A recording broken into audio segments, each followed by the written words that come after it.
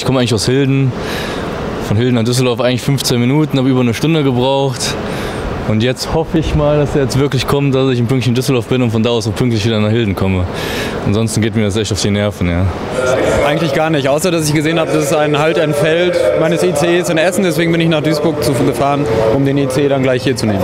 Ich bin heute schon fünf Stunden unterwegs, nur wegen Verspätungen. Von wo bis wo? Von Rees bis Krefeld muss ich. Äh, ja, leider. Äh, und zwar fliege ich jetzt nach äh, äh, Alanya, sorry. Und ähm, ich glaube, ich komme so 20 Minuten verspätet an, wenn, wenn der äh, Zug quasi eine halbe Stunde später ankommt. Das Flugzeug bekommen Sie aber noch. Ja, hoffentlich. Äh, ungefähr eine Stunde.